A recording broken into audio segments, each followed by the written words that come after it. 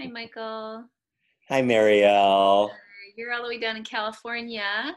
I am. It's very snowy here. Amazing. We've had lots of snow up here, and it's snowing again today, but we did have sun earlier, so at least the snow melted off the beach. yes. what do we want to talk about talk about today? Well, um, looking at some questions that came in regarding the upcoming course, the Transcending Anxiety course, and just thought we could have a little chat about that and see if um, we can open up a little bit of a better understanding as to what the offering's all about. Great. I'd love to do that. Great. What What were some of the questions that you had? Well, I think I wanted to start right kind of at the beginning and just looking at at you know stress like what is stress? We i know we all have some forms of stress and it comes and it goes and some of it is beneficial. We need some stress. It gets us out of bed in the morning and off to work and and um, it can help us in dangerous situations you know to get the the reactions moving and so we need some stress. And then normally the body has a chance to recuperate after that stress moment. We have a chance to kind of come back, the chemicals settle down again, and we come back into kind of a state of homeostasis or, you know, relaxation again. The body's in the normal state. And then there's anxiety, which is like sort of a more when we have stress that just is continual, it doesn't go away.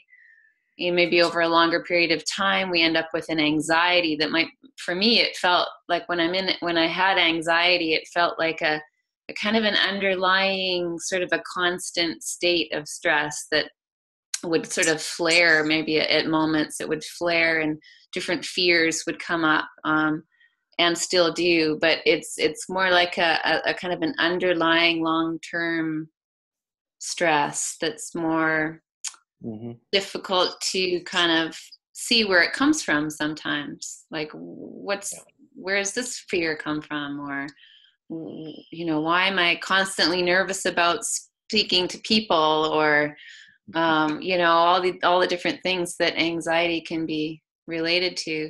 And then mm-hmm. deeper than that is depression where you know there's a couple weeks where we just can't even get out of bed or we're so tired we just can't imagine facing the day that we have to to wake up to. So um, yeah, just kind of looking right back at the beginning, like why are, why are you offering this course in the first place?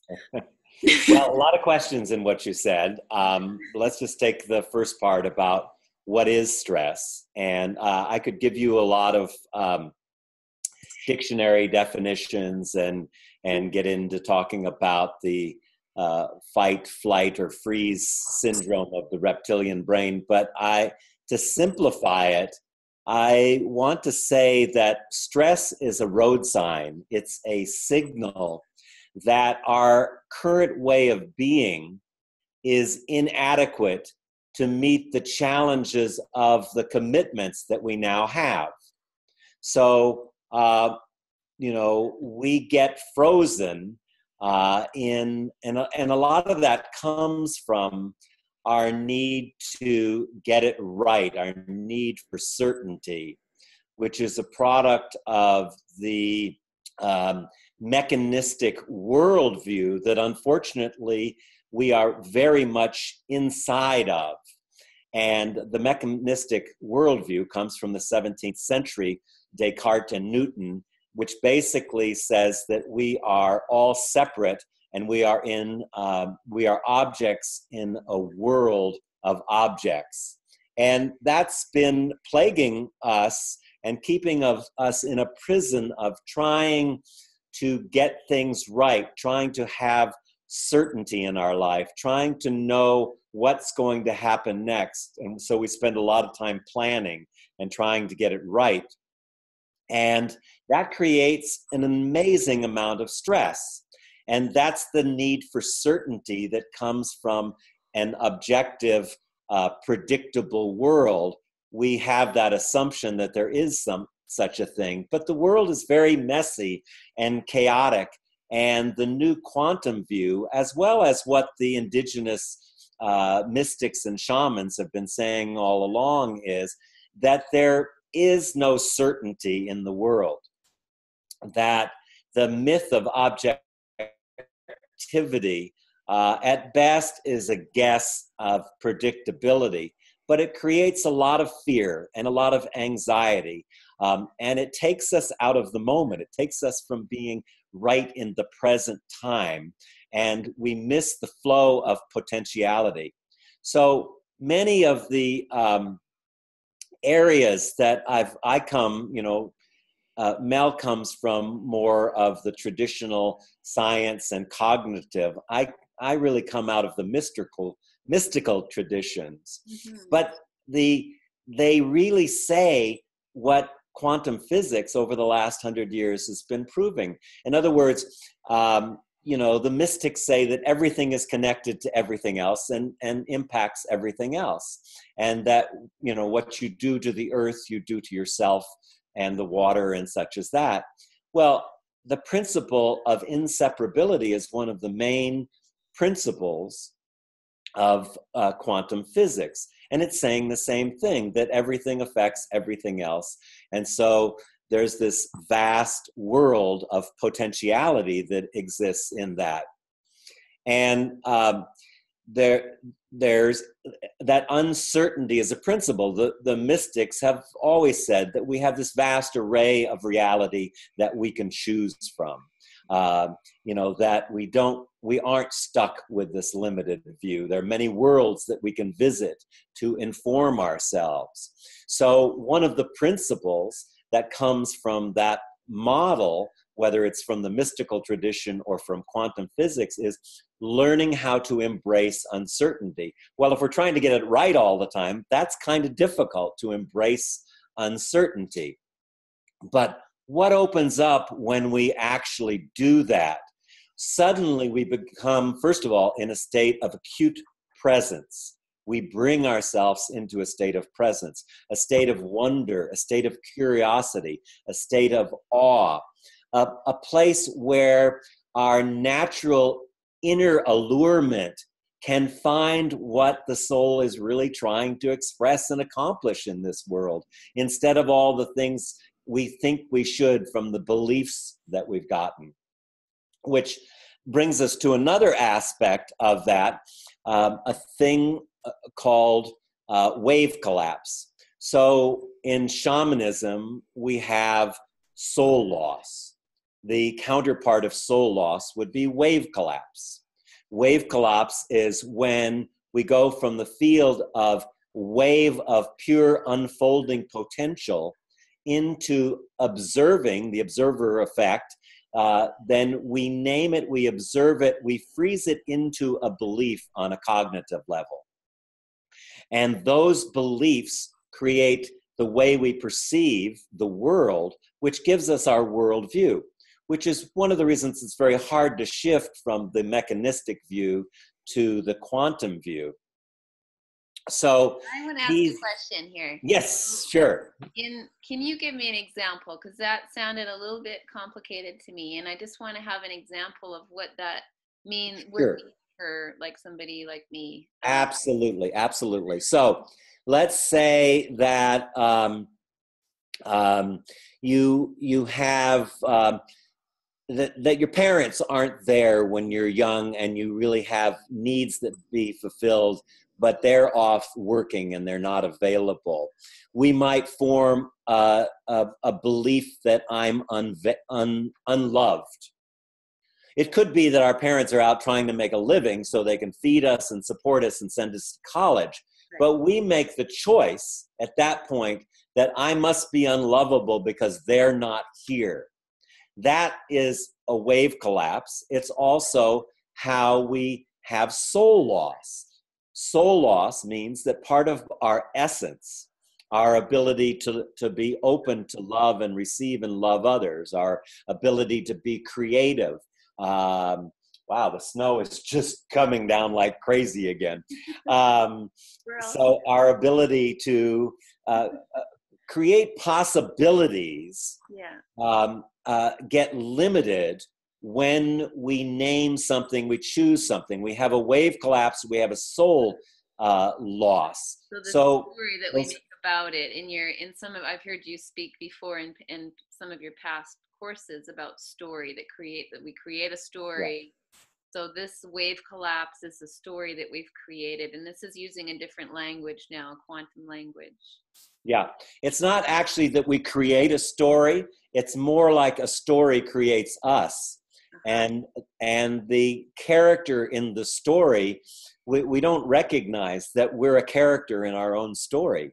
And so, you know, so much suffering comes from not being able to separate ourselves from our story. What is our story? Our story is beliefs and experiences and how we view the world from the past. Mm-hmm. You could say that for the most part, we leave our we li- we aren't living into the future. We're living into the past, being recreated over and over again.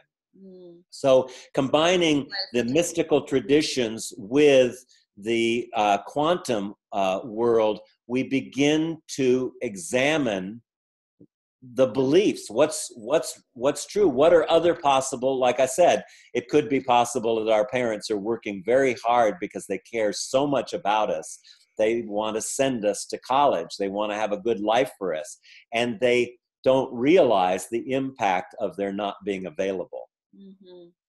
And we end up in loops, like kind of like a computer default uh, that keeps. It's exa- exactly like that. Yeah, exactly. Now, I found it interesting that you chose to work with Mel, Mel Schwartz. He's a mm-hmm. psychotherapist and a marriage counselor. Um, and coming from a different, a very different aspect, um, like you said earlier, uh, you're being more working more with the mystical traditions and shamanism and although you came out of an organizational development background. Can you talk a little bit about why you chose to to work with Mel and and Sure. Uh, Mel is a brilliant psychotherapist, and he's put these principles into action in his therapeutic work and produ- produced miraculous um, results with that.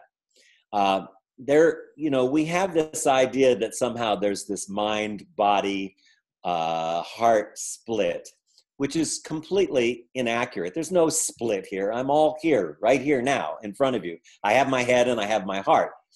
But there's a tendency, some of us are much more cerebral. You know, I kind of started out that way, but more and more have been speaking about the heart resonance.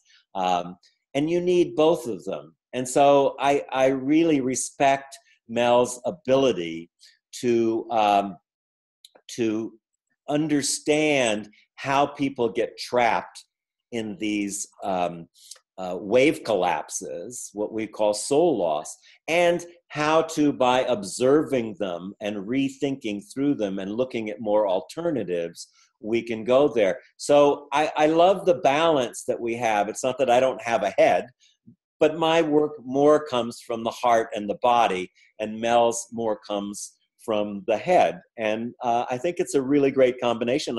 I'm really excited about this course because I'm looking forward to what I can learn from Mel. And I think he's also looking forward to what he can learn from me about uh, presence and about um, the kind of work that we've been doing all along with belief change um, uh, work and meditation and that deepening into the inner interiority and uh, opening up our natural ability to express ourself and our say soul's calling into the world and to remove some of the constraints that keep us from living up to our highest potential and offering our gifts our strengths and our talents fully to the world without holding back. Mm.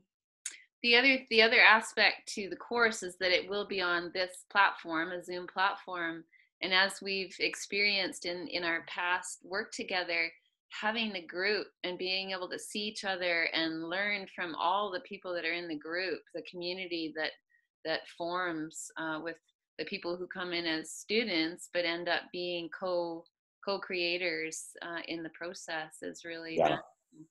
And powerful. Yeah, we we did that in the Path of the Heart, and it was so incredible. And yeah. all of those people we feel very close with. They're with us all the time. So this is an opportunity for people to really get a personal experience of um, this interaction with the community. And, and, and that's another aspect. And I have to leave in a minute here, but I want to say that's another aspect that's really important in healing the wounds of separation. Um, you know, I've often said to people that the suffering that we have in our lives is, in, in almost all cases, a function of the myth of separation, not recognizing our interconnectedness with our body, with nature, with each other, and with the community. And when we get in a community field and people are authentically sharing themselves, what we discover is oh that's like i have that same or a slightly different thing. And i get inspired when i see another people another person taking on a new perspective or a new belief or a new way of holding what was currently an indelible prison of reality. Mm, beautiful. Yeah. I just want to ask before you go, I just want to maybe talk a little bit about what type of practice, like what kind of practices you'll be offering, you and Mel will be offering. What what is the actual meat part of it look like? Like how are we going to be experimenting and, and expanding? Right. Well, the fundamental practice is inquiry, is really looking to see and notice the uh, limiting beliefs and behaviors uh, that lead us to be uh, experiencing stress and anxiety and even depression and fear also. And so within that, I'll be doing a whole series of taking us deeper and deeper into a meditative state in the beginning so that we can deepen from surface consciousness down to the deep inner consciousness of, of exploring our own interiority and recognizing the permeability of the the self as body into the outer external world, which taps us into a vast um, intuitive and uh, spiritual consciousness uh, of the silence itself. We'll be doing a lot of exercise with people to um, to notice the limiting beliefs that we have and to help us to step out of the old mechanistic paradigm and see how language and uh, the way we operate in the world and work in the world uh, allows us to step into a new freedom to be authentic and at the same time expand our capacity to meet the demands that we set on ourselves because again i'm saying that stress and anxiety are a function, simply a function, a sign that says, hey, you right now are operating at a smaller, less uh, available state of consciousness to meet the challenge you've set up for yourself and the challenge of the world. Therefore, the, the cure of that is expanding our own uh, level of consciousness and evolving into a place where we can hold more uh, in our life and relax into it, regardless of the circumstances outside. This is still working with the path of direct revelation, which has always been what I'm doing, as well as looking how to dissolve the barriers of the myth of separation. That's great. I love the the word you used, cure because I feel like it's it's a key. There's an offering that's provided. There's like a pathway that opens, and then it's up to us to to participate to the best of our yeah. ability. So. Yeah, I'm going to need to get on another call right now, but maybe we could do another one of these little chats. Um, uh, Thank you. You know, in the, in the near future. Great. Thank okay. you. Thanks for taking the time and explaining some of these things for us. My pleasure. I'm looking forward to uh, having those of you who are called to join us. Uh, many blessings, and uh, I'll talk to you soon. Okay. Bye for now. Bye.